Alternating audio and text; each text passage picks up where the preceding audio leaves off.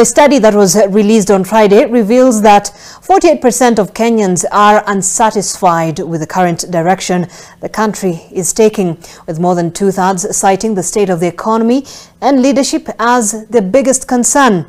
On the other hand, 37% of Kenyans are satisfied that the country is headed in the right direction, while 3% say they do not know.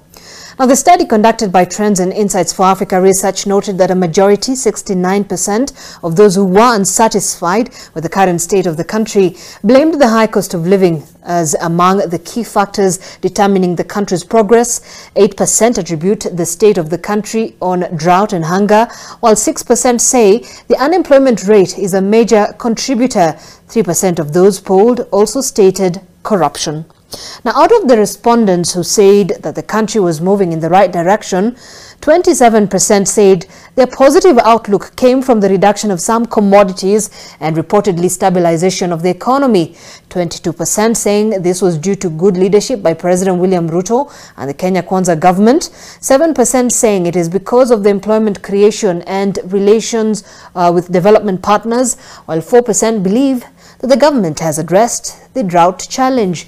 Meanwhile, the report also shows that only 31% of Kenyans are in support of the Azimio demonstrations and 64% of the respondents who took part in the survey were not in support of the rallies, while 4% had no opinion on the matter.